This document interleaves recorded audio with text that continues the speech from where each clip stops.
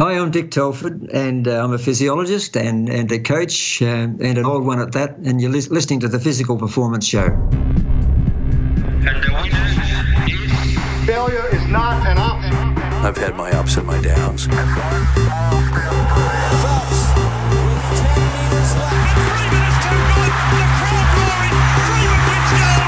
I think it's an absolutely breakthrough experience.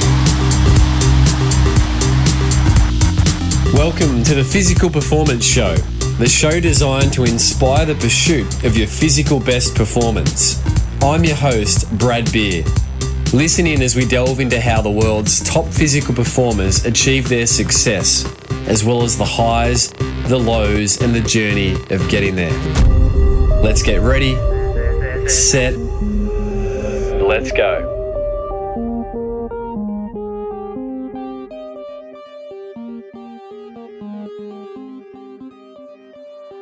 Welcome to another episode of the Physical Performance Show, brought to you by the Gold Coast Marathon and Pogo Physio. I trust you've been having a great week, and I trust that you've also been enjoying pursuing your own physical best performance.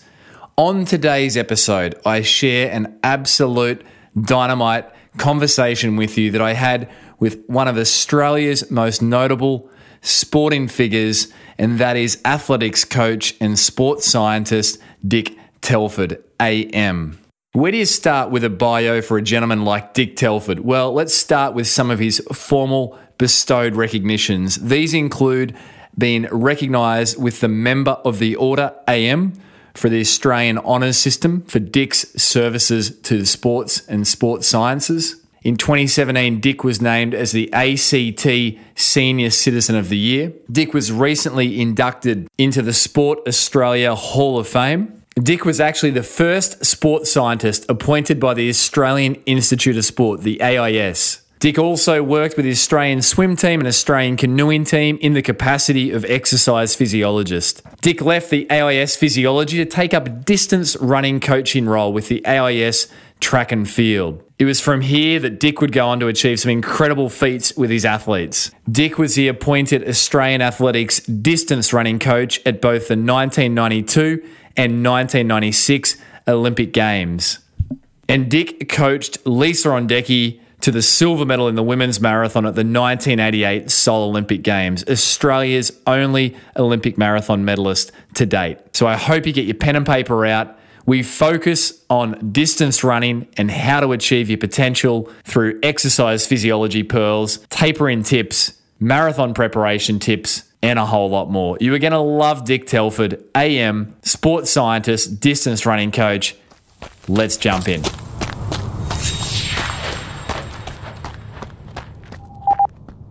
Dick Telford, this is an absolute pleasure for me. I have been an admirer of your work professionally since I was a young teenage triathlete, eating Sustain uh, cereal in the hope that that would uh, produce the performances that you were producing out of the AIS as a, the role of uh, head physiologist. Thanks for joining us. My pleasure, Brad. Dick, uh, your career is very wide. It's very illustrious. You have achieved many things. You're a humble gentleman. Uh, as per the bio, you've worked in elite sports at the highest levels in your capacity as a coach, as a physiologist. You were the AIS's first uh, appointed uh, exercise physiologist. What would you say, though, Dick, out of all things you've achieved in your professional working career, stand as the greatest moments or joys for you? Ooh, yeah, that's that's uh, that's a big one, Brad. Um, when you talk about you know things that stand out um, it's a lot of years that I can flash back uh, to now, even right back to days where I uh, you know, ran onto the Collingwood football ground as a young footballer, uh, as a 17 year old from school uh, playing in front of a, the final practice game of about 15, 20,000 people, and never having played more than, you know, in front of more than probably half a dozen people and a few dogs. you know, I can go back right back there, then, then to days where I worked with the Victorian cricket team uh, as their coaching coordinator when. Um, Frank Tyson handed me the job uh, looking after the uh, Sheffield Shield team, and and we won a couple of uh, Sheffield Shields over the, those next couple of years. then I suppose um, um, Don Talbot, uh, the director of the Institute of uh, Sport, coming down out of the blue down to Melbourne to listen to me give a speech at um, Deakin University, where uh, he um, just offered me the job of um, guiding sports science in Australia right from scratch at the AIS, right on the spot. And then I suppose you know all of the years through the the time where we went from winning four medals in Montreal, then opening up the Institute of Sport, right through to a time where we won around 54 in um, uh, in '96 and 2000 in Sydney, and uh, you know they were fantastic years where physiology, biomechanics, sports psychology, motor learning, sports medicine, uh, physiotherapy, linking it all in together.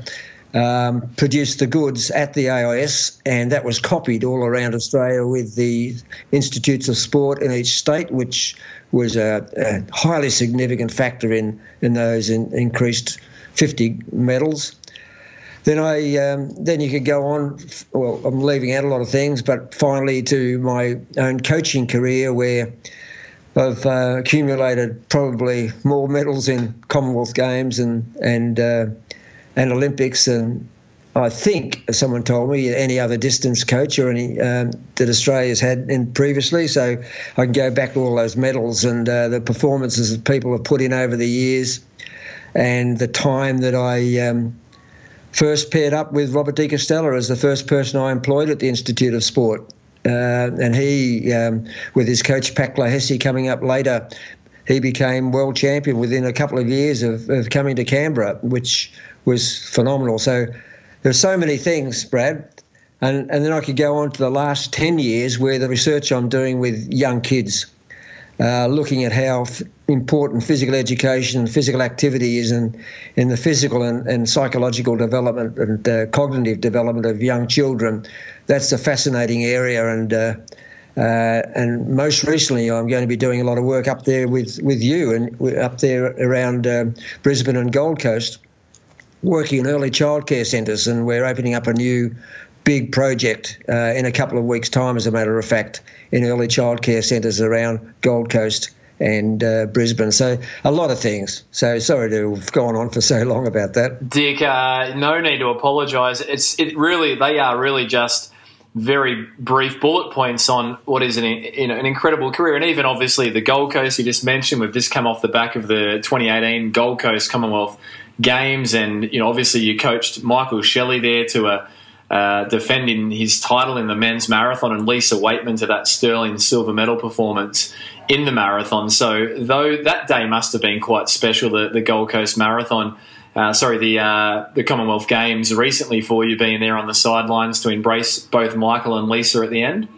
Well, you know that that's fantastic. Somebody the other day asked me about my memories of you know what sticks in my mind, uh, and I sort of went right back through to times with Andrew Lloyd winning a gold medal at Auckland, and you know with him not being really. Uh, uh, impressing the selectors enough to want to have him in the side. Yet he won that gold medal. But more recently, they're, they're the things, of course, that uh, uh, will always be indelible. Uh, the, the, the, way that Lisa uh, Weightman and Michael Shelley, having coached those people for a long time. In fact, Michael, I've coached for, I think he said the other day, I've coached him for 15 years. That's a long time. Um, so uh, that sort of experience makes coaching uh, absolutely worthwhile as, as, any coach, and, and you would know. And they are both such humble humble champions as well. It's uh, they're incredible people. Uh, Dick, you're running yourself. Before we get practical on some uh, physiological coaching type topics, you were a very handy marathoner. You, you clocked a PB of 227 uh, in the Melbourne Marathon. I think you started that in 1978. You went 312 and then you followed up within five marathons to run that 227. So, quite clearly, you're a talented runner. You also, uh, I believe, won a, a medal in the World Masters Games on the track and had the uncanny uh, exit from uh, from your running days, your your career sort of uh, competitive running days of running your best times on the way out on the track. I think in the eight, the fifteen hundred, five, and ten. Tell us a little bit about your own running, Dick. yeah, well, I must admit I do have a chuckle about that that last statistic that the very last events I have have won. Uh, sorry, uh, I have run um, from 800, 1500, 3k, 5k, 10k, half marathon, and marathon. The very last races I ran were all my PBs. And I always uh, say to my athletes, you're never going to be able to do this. you're not going to be able to emulate your coach's performance there. But the reason is that they're all better athletes than me while they're young, and they're producing all these um, these top performances while they're young. And as they get older, there's no way known they're going to be able to get quicker like I did. And because I didn't start running until I was probably 32 or 33 after I'd finished coaching football and cricket and playing football and cricket, and I had that head start. But then uh, you know the old cunning uh, physiology coach comes into into play when I sort of work up the best ways to train, knowing I can improve each year in a particular event as I get older, but understanding that there comes a time where I reckon I've done just about as much as I'm ever going to be able to do, and that means yes, I'll run that PB, never run that race again. so that's the way I've gone. It's uh, it's a nice little record to have under my belt to talk to the young athletes about. It's a brilliant uh, it's a brilliant story. I mean, you got down to 158 for the 800, 357 for the 15, 109 for the half. So you're no slouch. You're still running now, Dick. Uh, what do you love about running? Oh well, nowadays uh, it's you know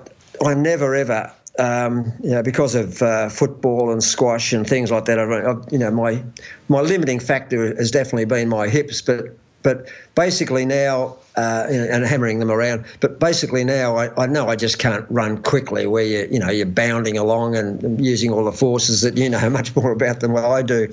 Uh, so what I do is I generally um, just get out and thoroughly enjoy myself. For example, this morning uh, was very brisk in Canberra, as it often is. We're 2,000 feet up in the air, and the snow's not too far away. And I just ran at the back of my place, which is not far from uh, Parliament House. I ran up a place called Red Hill to the top of Trig Point of Red Hill, up a, a fairly steep uh, dirt road where uh, there's a lot of kangaroos and uh, a lot of um, uh, parrots of all descriptions and you can look across Parliament House and across Canberra, and you see a little the, the cloud down below you. And I only ran for 40 minutes, and when and I wouldn't even call it running; I'd call it jogging. But the fact is, I'm sort of running up a hill. There's no real stress. It might be a little bit of stress on the lungs, even though I don't puff that much running up that hill. Uh, so it's just thoroughly enjoyable now to, to, to get me feeling good for the rest of the day. That's the way I do it. Well, you really do practice what you preach. Dick, changing gears here, uh, through your coaching, physiology, extensive knowledge you developed over, over the decades, what would Dick Telford say are the top three characteristics required for optimal athletic performance? I have heard you reference before this concept of a, a big engine and a smooth engine, so I'm presuming that that might come into one of these top three characteristics. You prompted me well there, Brad. Um, uh, there's just so many things that contribute to good athletic performance in uh, all sorts of sports, and of course they vary um, according to the, the, particular sport we're talking about. But if we stick to a, a basic sport like running, um, you're, you're right. Um, a, a runner who uh, runners are going to be limited by the capacity of their engine and we often, particularly their aerobic engine, and we often talk about uh, VO2 max, which is an indirect way of measuring the capacity of the engine because we can measure the amount of oxygen that that someone uh, can actually utilise, and that's proportional to the size of their engine. So that's one way. But then the other aspect that, that contributes to a very good runner is that when they're cruising along at any given speed, whether it be a, a speed of a at a 1500 meter race or a 5k race or a marathon race, they actually use less energy than somebody who is um, uh, not as well equipped in that way. So, in other words, this efficiency thing is is uh, particularly important. And using using less energy means that uh, with a bigger engine and uh, a smoother engine, then when the time comes, for example, in a 1500 metre race and the bell's rung and you've got one lap to go, generally that particular person with either of those characteristics or or hopefully both, is going to feel a lot better, going to have a lot less um, instability, if you like, or uh, or change in, in their system and their biochemistry. We call it homeostasis. Their homeostasis is, is more close to what it was when they started. They're feeling better and they can come home faster. They're the better runners. So the physiology, um, and there's a couple of points, um, is very, very important. But then we've got the psychology and the biomechanics. You know, it's no point in having, or if we're just sticking to running, it's no, it's, it's, it's I've had plenty of runners that have had super engines and great efficient engines, but they haven't had the the uh, the anatomy, the chassis that's going to carry them through to be able to train. No matter who how good people are, they've got to be able to train and and uh, push the envelope there if they want to get to international level. Uh, and if they haven't got the body to do that, uh, then that's that's difficult. You know, the, the likes of um, Michael Shelley, for example, uh, Rob De Castella, Steve Moneghetti, those sorts of people. More recently, the likes of uh, you know uh, Jess Trengove and Lisa Weightman. Although for a while there, before I coached Lisa Weightman, she had a lot of stress fractures, but once we work out what's going on, and I did that with people like yourself, sports medicine people that understand how to how to uh, to work with the body with me as a physiologist and a coach. Lisa has uh, had a really good run over the last six years, and and uh, just in her, you know, just to, to verify that, for her to run two hours twenty five and fifteen seconds at the age of just on thirty nine and run a PB. Well, actually, she's one that's I've got to watch because she's running a PB as she gets older as well. So I have to put an end to that. She might break my record. no, that's brilliant. And Dick, so you know the physiology, the psychology, the biomechanics there. And I know it's a very difficult question, so thank you for giving a, a consolidated, you know, response on that. And I, I love that concept: big engine, smooth engine. Dick, first-time marathoners, it can be a Pandora's box. Uh, what would be your top tips for first time marath- marathoners, just broadly speaking? Well, it's probably similar to what I'd be saying to uh, you know some of my top marathoners. Really, you've just got to run within the limits that you know you've got. There's no point unless you know uh, in most of the times there's no point if you're in an important race and most marathons are pretty important races where you're running your first one your third one you're you're running the Gold Coast Marathon or you're running the the Gold Coast Commonwealth Games marathon or the Olympics. They're all important because you have to build up for months before these things, and everybody, no matter who they are, will get a bit toey and nervous about putting their foot in the line and knowing they've got to try and get through 42.195k as well as they possibly can, even though there's really only a handful of people know they're running it in some circumstances, let alone others that have got the whole world looking at them. So you've got to run within your limits, Brad, and um, and that means that uh, you set yourself uh, those limits based on what your coach or yourself has come up with in terms of saying, well, this is reasonable. I think this pace is reasonable. That if I go over this pace, uh, I'm going to be using too much glycogen per kilometre. I'm going to run out of glycogen at the end, which is a big limiting factor, running out of fuel in a marathon, and uh, and I'm going to possibly hit that wall and have to walk or you know struggle to get the last few k. And we see top marathoners doing that. E.G. Hawkins in the last um, Commonwealth Games marathon, but lots of runners that just run out of fuel. And as I've probably mentioned before, uh, you, can have that Ferrari engine, but the Ferrari, Ferrari engine runs out of fuel. It's it's worth nothing, and that's what happens at the end of a marathon. And it's marathoners have got to know their limits and run according to those limits. Yeah, no, that's great advice, Dick. Talking about fueling marathons, fueling endurance performance. You know, contemporaries of yours, such as you know Tim Noakes, etc. Uh, there's been that big sort of emergence, if you like, of the ketogenic type diets, high cut, sorry, low carb, high fat. What you, what's Dick Telford's views around you know some of this more recent view around change in fuel sources? I haven't taken any notice of it. I haven't even read about it, to be honest. You've been too busy. well, not really. You just use basic physiology. Now, over the years, I've seen uh, people come up with all sorts of diets.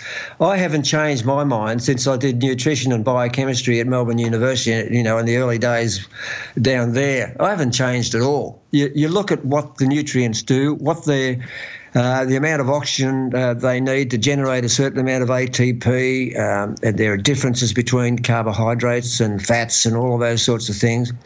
You understand, you know, where you can get the best power from, where you can get the best uh, type of efficiency from in terms of utilizing oxygen, that sort of efficiency. And it comes down to the fact that, that when athletes train, um, no matter what diet they're on, even if they're on a pure carbohydrate diet, they're going to learn to use more fats at any given level of running, even though they don't eat any fats, because you just convert carbohydrate to fat anyway. You know, in, in the in the body, that's that's easily done. Not easily to go the other way around to convert fats to carbohydrates. So anyone would be silly to try and embark on uh, a marathon program or a program that involves uh, elite level sport, trying to work on a high fat diet. I've never heard of anything so silly in all my life. I mean, that'd be the way I'd, I'd uh, you know, you'd nobble, nobble a runner if you wanted to, to, to try and that. And and despite the fact that you will adapt more to a high fat diet as you go. You're never ever going to be able to run as well on the high fat diet as you are on a mixed diet, where you've got sufficient carbohydrates to, to fuel where you want to fuel that anaerobic component of your energy. Yeah, look, interesting view, big topic, interesting views, but very practical, right? Common sense prevails. Dick, you're, you've, you've spoken about the cloud of fatigue, removing the cloud of fatigue from runners. Can you just touch on that for a moment? What do you mean by that sort of phrase? You must remove the cloud of fatigue from your runners before an event. I think I might have first mentioned this cloud fatigue when I was working with Bill Sweetenham and uh, at the Institute of Sport, and, and uh, later on with Laurie Lawrence and uh, and other swim coaches around around the place. Um, but you know, with Bill, you know, we worked on a, a lot with uh, learning how best to taper, um, you know, taper swimmers. Some swimmers would go in and into a big event and uh, after training really well for months and, and, not swim anywhere near their best, and uh, until perhaps later on where they had a bit more rest and suddenly found they swum better when it was all over. They'd lost their place in the Australian team, what it happened to be. So we, we learnt by trial and error a little bit. And all, all I mean by this, this um, in this, t- one of the things I used to talk about with uh, swim coaches originally when I was the physiologist there with the swim team, um, and with uh, Pat Clohessy and and, the likes of uh, Rob De Castella and all those others that were at great runners at the, you know at the uh, Institute of Sport.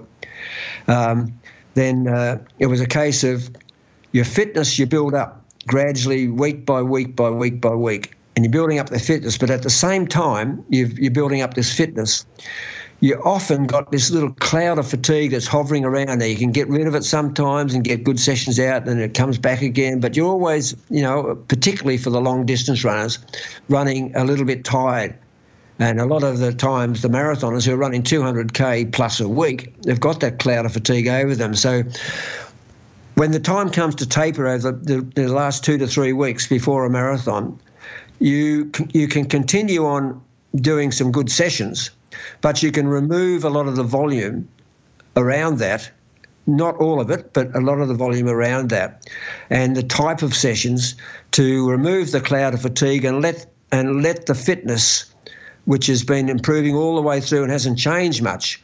But the performance is a thing that that changes dramatically when the cloud of fatigue is removed on top of that fitness, if you like, and uh, the performance comes through. And and as a coach and as a physiologist, I thought one of the most important things that I had to contribute towards um, the athletes I was working with was learning how to get the best performance out of an athlete at the right time. And uh, that's critical, of course, for championship events.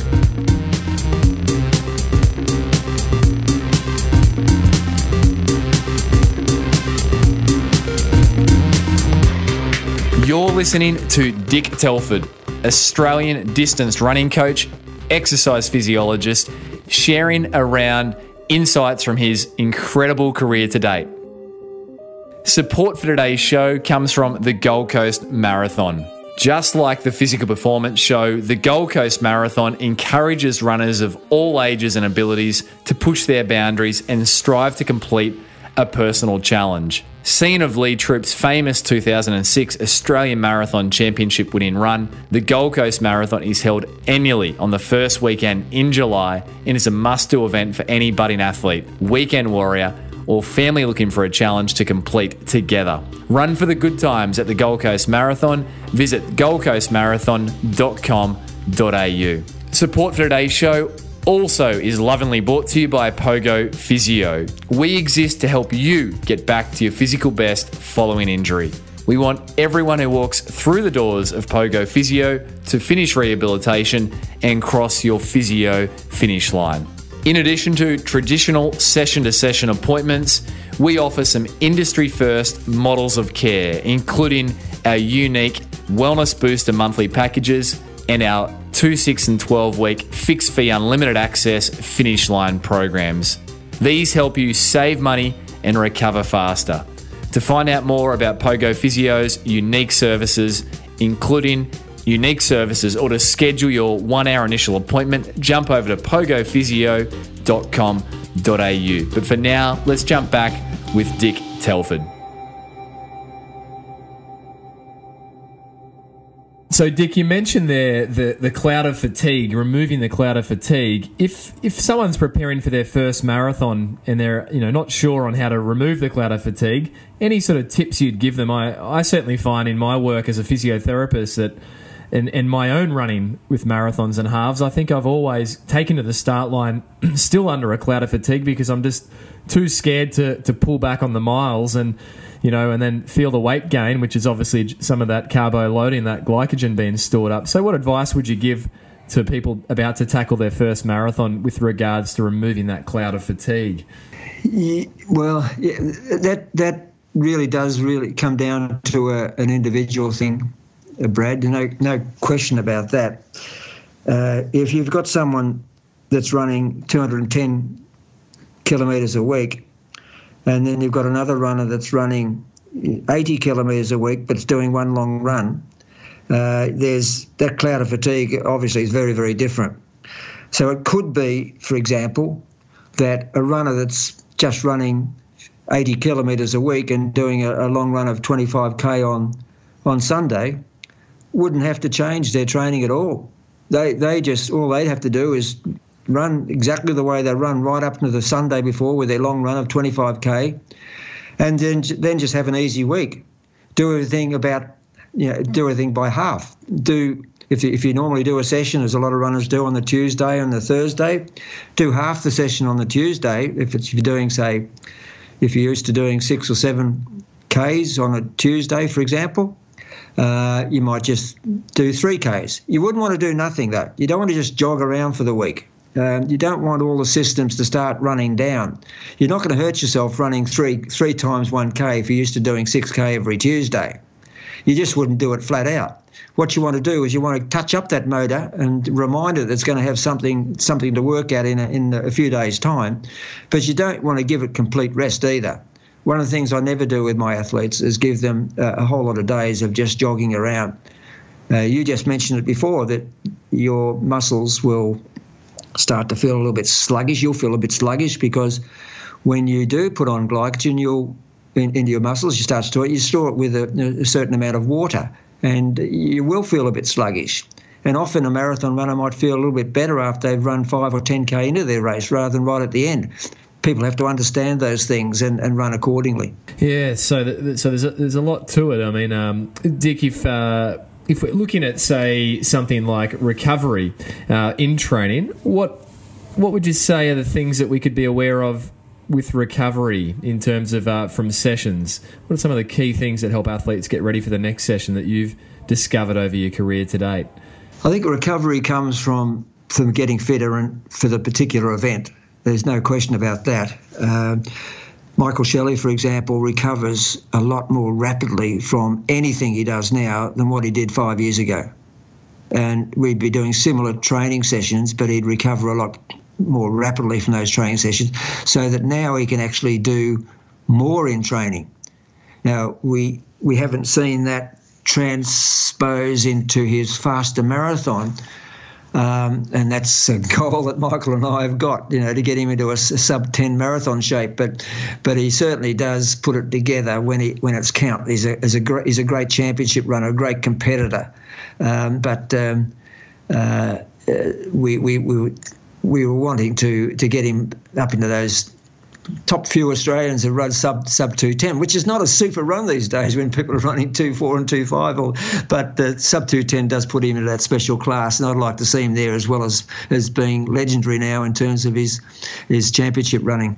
Yeah, absolutely. Dick, this on the taper, I, I, should have asked there. How late would you leave the last hard session? You said you don't want to jog around all week, but you've got a marathon on a Sunday.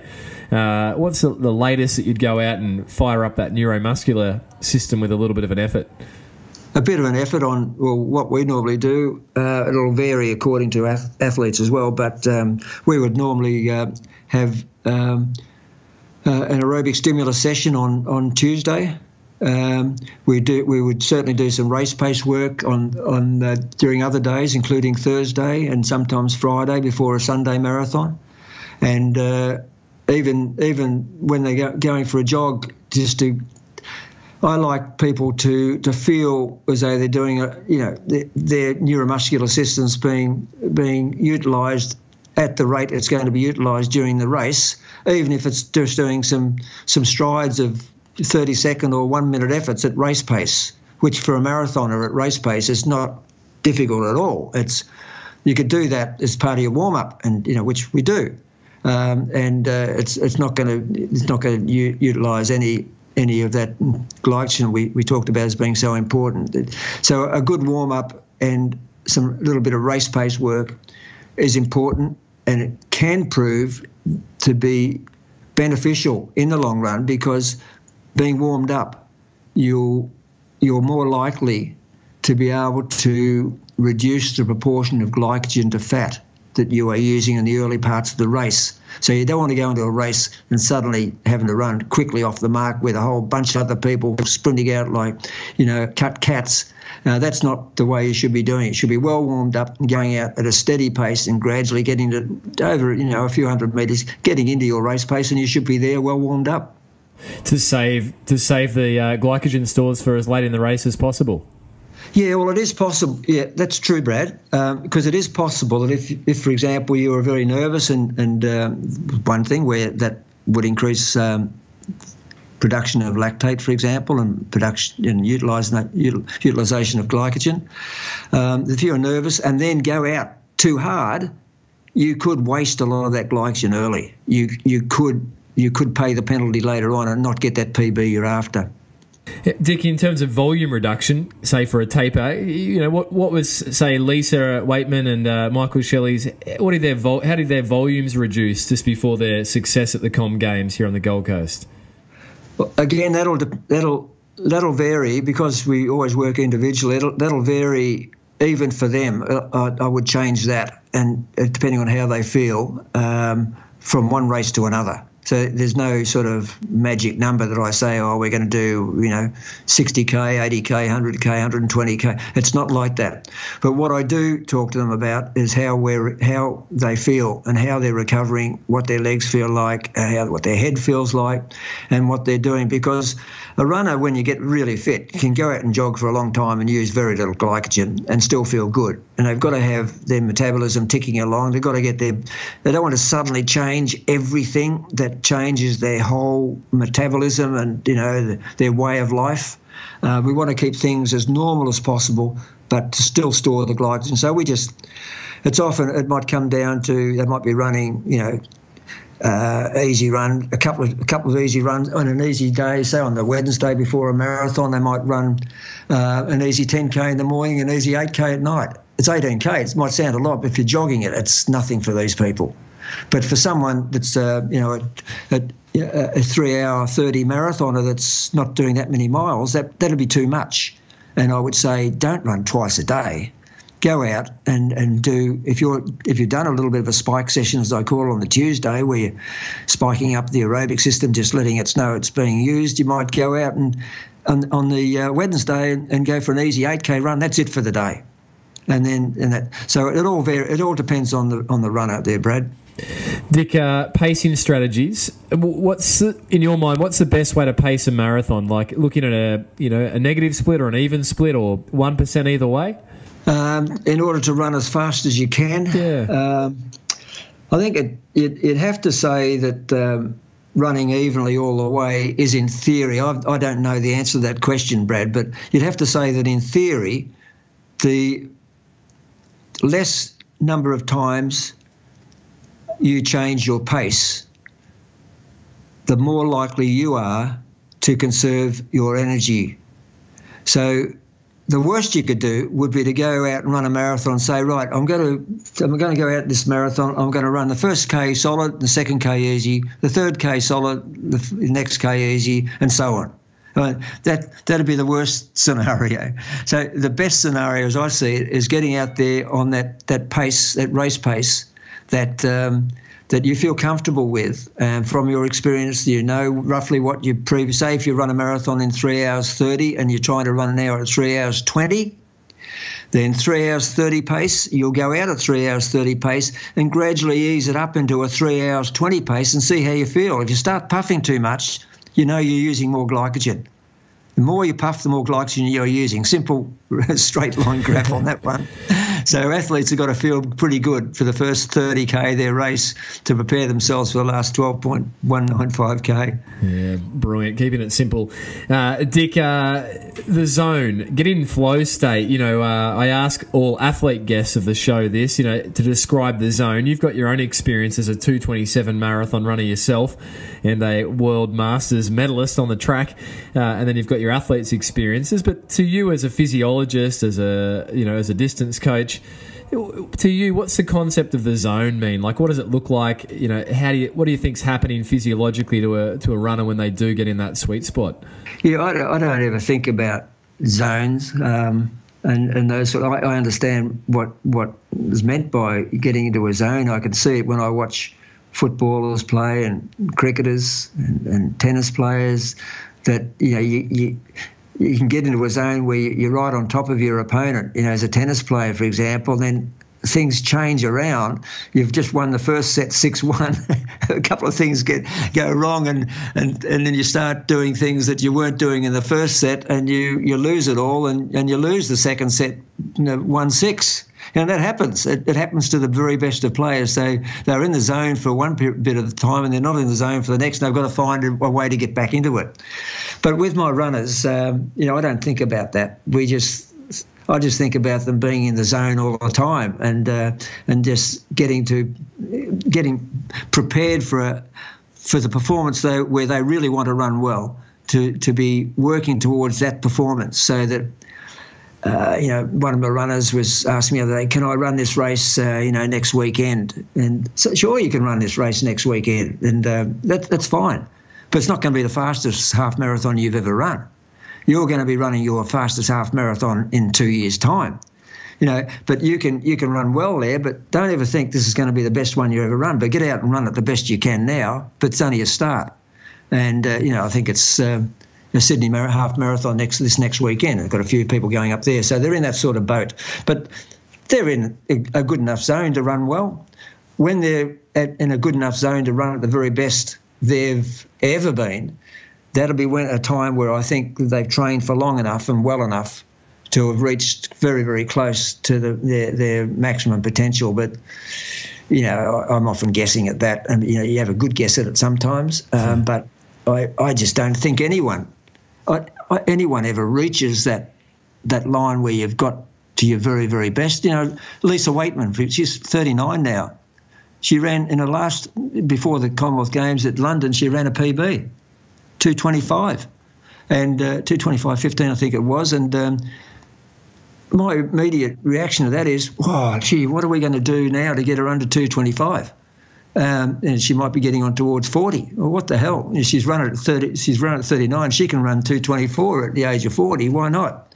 So uh, there's she can get in the zone, and Lisa gets in the zone pretty well, and so does Michael, and so do the other top runners. If we call it a zone, I, Yeah. I just don't refer it to a zone. I just prefer it to being well prepared and confident in what they're doing. Oh, absolutely brilliant, Dick. Uh, the role of strength training. Uh, you know, anything you'd add on your all your years of years of wisdom in, in how that helps an athlete prepare, or you know, obviously there's an injury minimisation side of it, but from, in terms of performance, is there anything that you specifically would highlight in that field or that that area? Only that, all other things being equal, if an athlete is stronger and can uh, develop more power in in a in a contraction of a large muscle group like your your, your legs and backside, um, then you're likely to be a better runner in one way or another. But the problem is, can you do all that strength work and, and train as well uh, in the other aspects of your uh, characterisation of, of fitness for your particular race? So it's all going to be a balance. You know, you, I, I can't just go to my athletes and say, right, we're, we're all going to do this strength this strength work, and we're going to be doing these weights on Monday and Wednesday and Friday, and we're going to train Tuesday and Thursday and Saturday morning and Sunday, and and you're going to train twice a day running. And I mean, there's a limit to what human beings can do. So we've got to balance it out. But I do feel uh, that strength work becomes more and more important the lesser the distance that you are competing over. Incredibly important for 100 metre sprinters, not as important for marathoners. When I say that, I'm talking about traditional strength work. But the strength work we would give our marathoners would be technique work running up hills. That's good strength work. You're lifting your body weight against gravity, which you're not going to be doing in a marathon race, uh, except in every stride where you, you're jumping up and down and putting the next foot, your, left foot down, then your right foot down, your system of little parabolas. But basically, you know, what what what we're doing with the strength work of a, a distance runner might be more you know squat jumps and uh, some some uh, upper body work for the running muscles and the arms and so on. But it's low key stuff compared to what the sprinters would be doing in the gym where they're developing high power work. And I'd say that's that's uh, just uh, crucial for for for, dis- for middle uh, for sorry for sprinters, but not but not for the, the middle distance and the distance runners. But the middle distance runners, Brad, would be somewhere in between. They've got to be strong. They've got to be able to run fast. There's no question that a 1500 metre runner worth his salt's got to be a very very fast 200 metre runner. So they've got to do the strength work. Yeah, Got to it's- do it. It's fascinating. I mean, running up hills, Dick. So therefore, you, I guess if you're looking to run your best distance event, you know, say a half marathon, a marathon, you, you know, you'd want to be doing some hill running there. Oh yeah, I think variety in running is incredibly important, not just for um, you know variety of terrain, variety of shoes, variety of um, um, the hills and, and the flat, uh, as well as the surfaces. That's what I meant by terrain before. Uh, running on grass a lot, staying off hard tracks with spikes. Um, very dangerous running with on hard tracks with spikes. Uh, that to me is probably the greatest threat to a runner's career that I ever come across. And uh, I think that running up hills is um, is a very very good way to develop that power without running as fast as what you would be running on the flat. And by running slower, I think it does a lot in, to increase the variety of running and therefore reduce the chance of being injured. And just to be clear, Dick, do you mean hill repeats at effort or like a long run rolling over, you know, rolling hills? I don't see a lot of difference. Okay. You know, some people say they go for an easy long. You know, I might might have heard Minor and these people like Deek and say, "Oh, I just go for an easy long run on Sunday." I, I don't know the way Deek used to run, and I, I would imagine Minor would be something similar when he got, went out the Ferny Creek. But Deek up here in Stromlo, Yeah. um, I used to tag behind him for long enough for part of his runs. Any part of his runs, I'd never try and go with, a, with him. Um, but when you're running up a hill, and he's, he reckons he's taking it easy, that's not what I think's taking it easy. So a long, easy run, when people like these champions describe a long, easy run, is a series of very hard hills, often very hard hills with some easy parts in between. You're listening to Dick Telford, member of the Order Australia, sharing around his career, highs, lows, and his many, many learnings.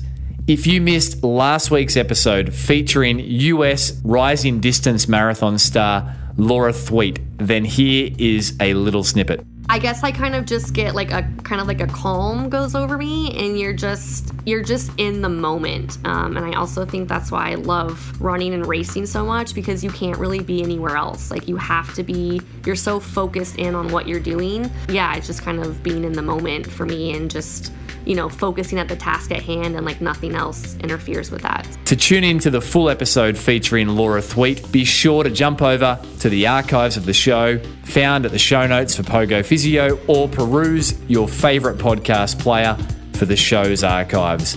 For now, let's jump back to Dick Telford sharing around the highs, the lows, and the learnings of his incredible coaching and exercise physiology sports science career to date. Dick, uh, you know, we're coming to the end of our time. Uh, acclimatization, I mean, getting ready for a, a, race like, you know, the heat of the Gold Coast uh, Marathon recently for the Com Games. Uh, you know, you mentioned Lisa living in Melbourne, Michael on the Gold Coast. You know, is it just a matter of trying to spend more time in the environment you're going to race in, you know, whether it's, you know, hot conditions or cooler conditions? What, any tips there physiologically or from a coaching point of view? A lot of championship marathons are in warm conditions because they're they're held in the summer, and they're the ones people normally avoid if you're a marathon runner. Uh, if you want to run your fastest marathon, you're not going to run in temperatures above you know 17 degrees because you're just going to overheat. And when you overheat, you're going to use, as we talked about before, you're going to use more glycogen and you're going to run out of uh, that fuel tank's going to sort of get down towards the red line level a lot earlier if you're running in warm and particularly humid conditions. So the best way to train for a championship marathon is going to is train in the conditions that you're going to be working in, and that includes humidity, which is different than just heat. So uh, that that that's crucial. So with Michael, he had it made because he was living on the Gold Coast. Perfect. And a few times he couldn't, unfortunately, couldn't train as well as what he could have. Uh, and we and had to abort some training sessions because it was just too hot, too humid. So that's the disadvantage. Um, but Lisa, uh, she was training in Melbourne. Melbourne gets pretty warm. Um, and uh, it's not far from the sea. It's reasonably humid. She was training in pretty good conditions. When it was colder, I would get her to train in parts of the day where she could. I know she has to balance out family life and work life and so on, but where she could, to put more clothes on, create that sort of uh, microclimate around her body, and train in the, the warmest parts of the day if Melbourne weather wasn't um, wasn't as good. So it, it's a case of just doing everything you possibly can to uh, maximise the, the effects of training for, for running in, in championship races. And uh, if we don't maximise everything or we leave things to chance, well, there's a big chance that those runners aren't going to run as well. And we, we never leave things to chance as much as we possibly can. Yeah, that's brilliant, Dick. Uh, I've got one. Uh, this is time for a, one listener question here, and that's come from Lauren.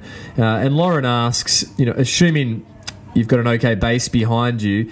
What's the best way to progress as a middle distance runner in the winter season versus the summer season? So I guess it's a question of, you know, yearly cycles.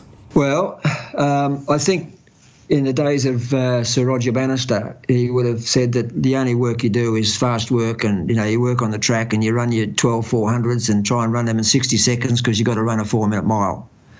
Um, that's one way to look at it. But nowadays, it's not it, again, it, it's horses for courses and depends on the athlete. I, I would train two, two 1500 metre runners differently. Um, I think in my squad now I've got four or five runners that would be have run the uh, either four minute mile or the equivalent thereof.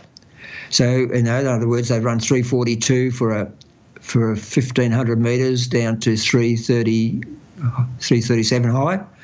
Uh, but they're all sub four, but they would all train differently. Uh, and you can see on the track that they can't all train the same. They can't do the same speed. They some need more rest, or if they're going to run the same speed, they they won't do it for the next rep- repetition. So it's all different. But in a nutshell, we would do a lot more aerobic work to to develop the aerobic system and the power of that aerobic system to develop their max VO2 and their and their efficiency and so on. Just like you would for a 5 and 10k runner, we would do that over the winter. Uh, all the coaches would know that you build up uh, what we call a base.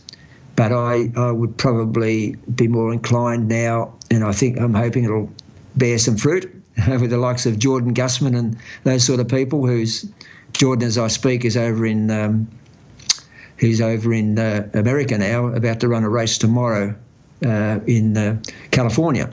But he's pretty fit at the moment, and I'm hoping that uh, his aerobic base will will come come to the fore so that he can run a, the fastest 1500 he's ever run in his life uh, tomorrow. Go, go, Jordan. Dick, uh, last two questions. What do you think the greatest myth of distance running training is? The greatest myth. Greatest myth. Um, I don't know if it's a myth anymore, but um, you obviously a lot of runners in the past, and, and, I'm talking about even 30 years ago, you know, some of the top runners, Derek Clayton, these sort of people, thought that the, the more you could do, the better it's going to, you know, the faster you're going to run. Now, I, I, I don't know if I'd call that a myth because if you could adapt to that more work, then then th- there's probably some truth in it. And Derek Clayton got to run two eight. I think he ran two eight thirty three for, and that was incredible. 1968 or something like that. He did that by you know doing things like um, you know going out for 450k runs hard and then running 275k a week or thereabouts, or or stories where he put a little pebble in his shoe to run with a bit more pain than what he you know, would normally would. Um, I, I think if we're going to talk about a myth, then we, I think it's a myth that having to do those extraordinary things uh, to push yourselves past the limit is um, is something that we might have thought once upon a time was going to work, but we now know that all that's going to do is lead to uh, the biomechanical breakdown of the body and a, and a short career. So more is not always better, but certainly there still needs to be some uh, kilometres on in, on the clock, right? Enough enough. But what is enough? Some yeah. runners can enough is more than yeah. enough enough is is different too for different runners. Some runners can run 220k and run it really well with quality. Other runners can only do 150k 140k and still be at their best for running a marathon. Uh, but 100 some 1500 meter runners might run 150k uh, during the winter. Others will run 100k and still be at their best. So it just depends on what the physiology is like and how that person is likely to respond. And that, that only comes with the experience with a coach. Ah, uh, Dick, this is probably going to be an impossible question, but I'm going to ask it anyway. If if you could boil down everything you've learned in your incredible career, you know, uh, physiology, sports science, uh, coaching, your own athletic endeavours, to one bit of advice to people listening in to pursue their physical best performance, what's Dick Telford's solitary piece of advice the most important pearl of wisdom going to be? Oh yeah, that is a that is a, a difficult one um, because it's difficult for me because my piece of advice, if I'm ever asked for it, would vary depending on who I'm talking to. so that's that the the individuality of, of the way I see each athlete is uh, is critical to me. But advice um, in terms of health, I can make it a little bit easier. In terms of health, my advice is that no matter what age you are, you know, whether you're, you're one year old, and then those people aren't going to be listening too carefully to what I'm saying, but up into 80, 90 to 100 years old, physical activity itself and using your muscles is vital to the way that your physiology actually operates. Vital to your biochemistry, vital to the way you can control your blood glucose and your uh, your ability to to think and move. So keeping physically active is is one piece of advice that I'd give everybody, irrespective of their athletic endeavours. To the athletes, the only advice that I can think right offhand now that might be more universal is would never limit yourself as to what you think you can do. Because I reckon when you do limit yourself, you'll find that there's a way to go past that limit. So what you thought was a limit wasn't in the first place. You can always improve. There's always a way to improve your running, for example. We're talking about it, that we can think about this in, in any terms of in any sport, but there's always a way to improve. It's just that you've got to think about those things and thinking about the way to improve is is part of the beauty of um, of human performance, um, and that's part of the reason that I coach. I just love thinking about things and finding out ways to to do things better. Uh, brilliant. Dick, uh, it brought up the question. I must ask you, I'd be uh, disappointed myself if I didn't. It's a current age of biofeedback data. There's never been it's never been easier for athletes and coaches, for that matter, to have data at you know at our fingertips. Uh, where's the line between too much data, not enough data, and running by feel, for example? What's your sort of thoughts around that in the modern era of technology? Oh, I think you know the data's the data's fine, but uh, you know like understanding and being able to map. You know, your again, I could talk about lots of different sports, but if we just stick to the running, um, understanding you know what your reps were and comparing that with somebody else that you know and all those things they, they, all add up to uh, maintaining interest and motivation. And I applaud those things. I don't take as much notice of those things as what my athletes do. I don't really care what another athlete's doing that I don't coach um, I, I, only care because I want that athlete, if he's an Australian athlete or someone I know, I want them to run well. But but it's not going to if it's not going to affect my coaching, well, that I, I don't get too much involved. I've got other things to think about. But I I think in this in this, this era where we can we can measure get feedback from um, measuring lactates and measuring heart rates. Uh, looking at the uh, the times and the terrains and the elevations and all those sorts of things, I think it makes things more systematic. And when we become more systematic, it allows us to think about it more and we can improve more. So the more feedback we can get, the more information we can get, to me, adds to the fun of it. It, just adds to the fun of it. I, would love to know what a, an athlete's max VO2 is and what their uh, running economy is, for example. Now, I know those two things aren't the be all end all in a runner because there's a lot of other factors involved. But just knowing those two things gives me a clue as to how that athlete might respond best or whether they're going to respond to altitude training, uh, or whether they're going to respond to an altitude tent. Those are the sort of things, and how they respond. That sort of feedback to me adds to the interest of everything and just gives you little clues as to how to improve that athlete, which is, after all, what us coaches are on about the whole time. Uh, brilliant. Dick, uh, I ask everyone uh, where I can a personality question. If Dick Telford could have three people at a dinner table, living, or, oh, living or past, a fun one here, who is at Dick Telford's table? And why? Oh, gee. Oh, oh goodness me. Well, I'd, I'd certainly like to, um, you know, I'd, I'd, I'd, love to hear what, um, you know, like top top coaches and top runners. It, I'll, I'll, I'll, talk internationally. There's a lot of people in Australia that have been fantastic.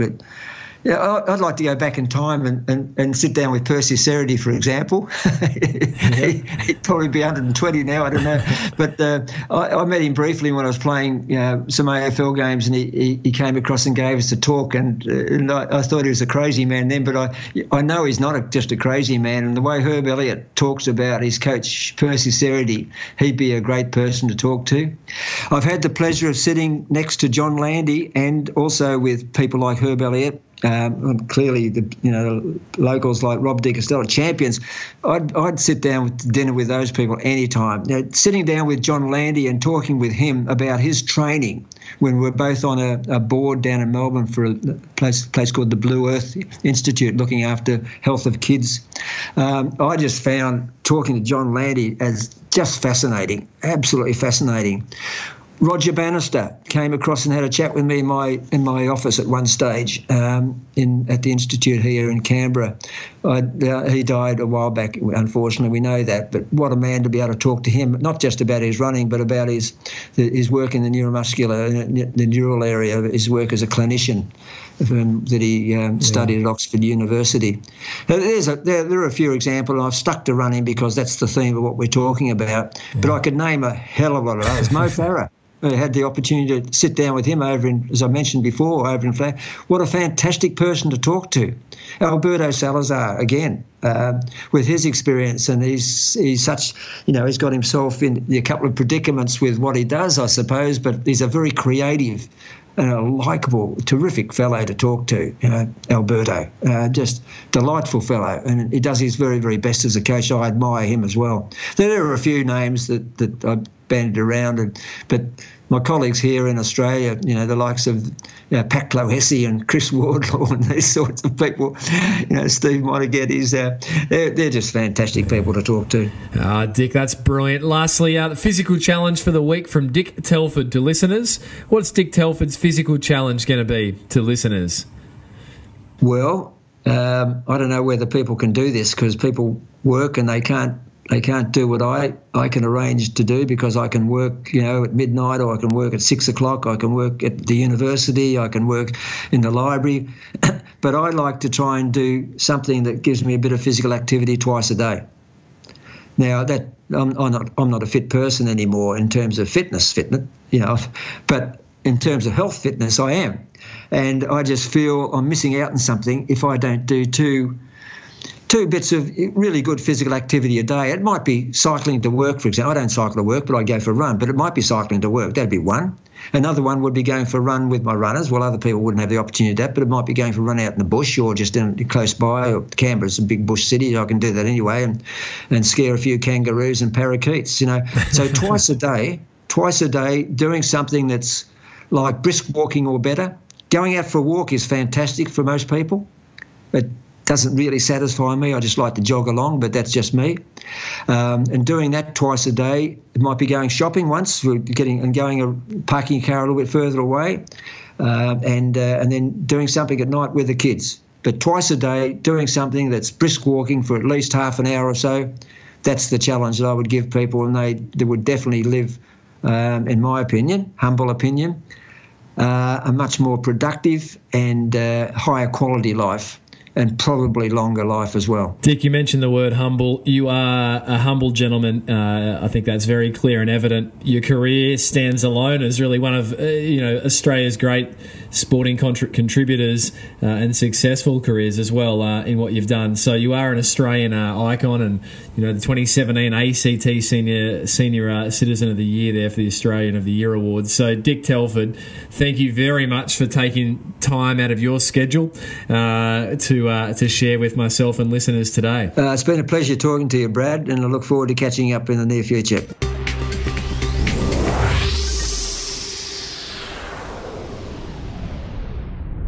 So, there you have it. Another episode of the Physical Performance Show. I trust you enjoyed Dick Telford and his sharings today. If you did, then please let both Dick and myself know. You'll find me over at Brad underscore beer on both Instagram and Twitter, or I'm just an email away, b.beer at pogophysio.com.au. You can find Dick over on Twitter at Dick Telford, all one word. If you know anyone who would enjoy or get a lot out of Dick's sharings, then be sure to tag them in, share the love with them. That'd be excellent. Thank you to everyone who's been subscribing and also leaving ratings or reviews over on iTunes. Reviews really do help the physical performance show get into the earbuds of more people who, just like yourself, are looking to pursue and perform at their physical best. A big thank you to this week Positivism, that's a mouthful, who rated the show five stars, commenting top stuff. This is just full of useful tidbits for any athlete, no matter your sport. I love how Brad asks the questions, I want to know, including what they eat and when they sleep. Thanks, Brad. Thank you for leaving your review. A big thank you to the team who make the Physical Performance Show possible. That's Susan Wilkin on all things administration, Matthew Walding, all things graphic design, and Daryl Misson, our amazing audio engineer. Of course, another big thank you to today's show sponsor, the Gold Coast Marathon. Podcasts, whilst free to download, are not free to produce, and the Gold Coast Marathon support goes an enormous way. Thank you.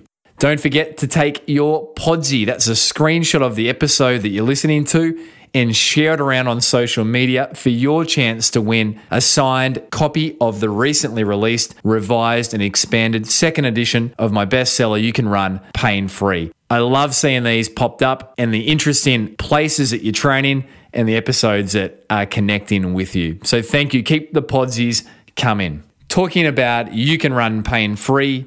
The recently released revised and expanded edition is available in paperback and soon to be internationally across all the normal platforms. If you're inside of Australia and you'd like to pick up your copy of the revised and expanded edition, you can jump over and simply use the promo code RUNPAINFREE lowercase 25, that's 25, to receive 25% off the recommended retail price of $29.95. Inside the 400 pages, you will find the five steps that I've discovered throughout my physiotherapy career will help you enjoy injury free and faster running.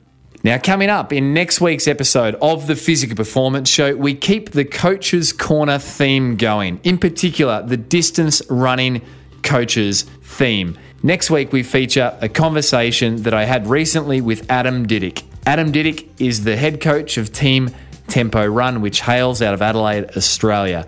He's also the coach of Jess Trengove, who took the bronze medal behind Lisa Weightman, Dick Telford's runner, in the Commonwealth Games at 2018 here on the Gold Coast. Jess recently ran a sterling 226 in the Gold Coast 2018 marathon. And aside from Jess, Adam is nurturing a whole new wave of Australian distance running talent. We get really nitty gritty in this conversation, speaking about load management, coaching philosophies, and how to maximize your running potential. So until then, keep pursuing your physical best performance. I'm Brad Beer, and this has been the Physical Performance Show.